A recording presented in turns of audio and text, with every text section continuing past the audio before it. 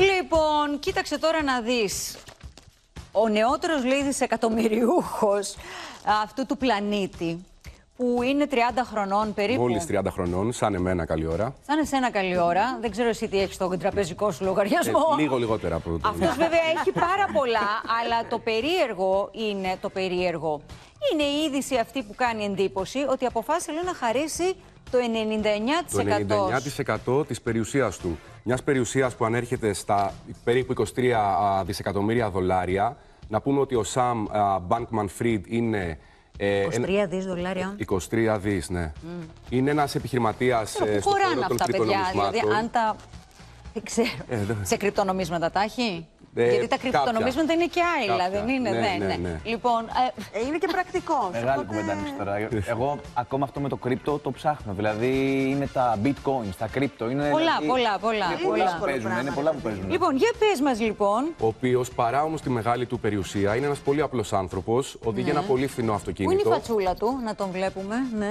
Να το προσωποποιήσουμε. Α, μα, σαν μαθηματικός μοιάζει. Ναι. Ναι. Έτσι λίγο. Ο ίδιος λέει Όχι. ότι κάνει φοιτητική ζωή. Έχει και το. Συγγνώμη. Έχει λίγο. Δεν θέλω, δεν, μπορούσα να άκουσε, εγώ, τώρα τι δεν θέλω να τι το χαλάσω. Αλλά μου κάνουν και ερωτήσεις το αυτοί. Ναι. Πώς είναι, λέει, μαθηματική.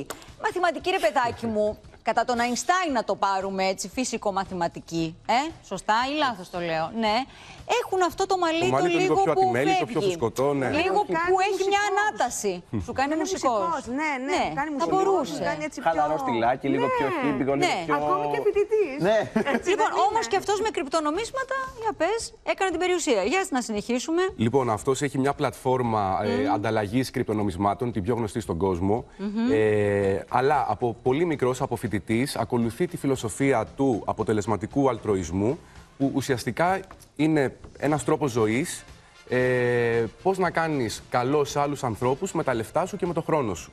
Και έτσι έφτασε στην απόφαση να δωρήσει το 99% της περιουσίας του Κάτι του μένει βέβαια και με αυτό το 1% και να του δηλαδή. μείνουν 100.000 δολάρια. Εντάξει. Ετησίως. Καλά. Ναι, Εντάξει. δεν, δεν είναι Να και λίγα. πορεύεται. Δεν είναι και λίγα. Ναι. Αλλά Εν τω ούτε μεταξύ- και 23 δις. Παιδιά, είναι φοβερή είδηση έτσι. Να τα κάνεις δηλαδή, και ποιος 23 το δις. κάνει αυτό, πολύ λίγοι το έχουν κάνει. Ξέρεις αυτό. τι, κοιτούσα πριν στο γραφείο, έτσι γκούγκλαρα λίγο. Είναι, λέει, υπάρχουν λέει, ε, γύρω στους 2.100 κάτι δισεκατομμυριούχοι σε αυτό τον α, πλανήτη που ζούμε, σε αυτόν τον κόσμο, οι οποίοι έχουν συγκεντρωμένη περιουσία που αντιστοιχεί σε ό,τι έχει το υπόλοιπο 60% του γενικού πληθυσμού. Μα, ναι, μα είναι λογικό. Εγώ καμιά φορά σκέφτομαι ότι όταν έχεις τόσα λεφτά, δεν Ναι. μπορείς να διαχειριστεί κάποιες φορές. Δηλαδή, λες τι θα τα κάνουν τόσα λεφτά. Οπότε, ξέρεις, τη βαράει κάπως. Εγώ έτσι έχω καταλάβει γιατί το έχουν κάνει και άλλα άτομα αυτό το πράγμα να μοιράζουν κάποια στιγμή την Και περιουσία δώσανε, τους. κάνουν δωρεές και τώρα Ναι, και μέσα ναι. στην Και πανδημία. Και Jeff Bezos, Bill Gates, ε, Ναι. Warren Buffett. Βέβαια, ξέρεις, έχει τεθεί και η συζήτηση για το πώς θα πρέπει να φορολογούνται αυτοί οι άνθρωποι. βέβαια. Συν της άλλης δηλαδή. Σημαντικό. Ναι.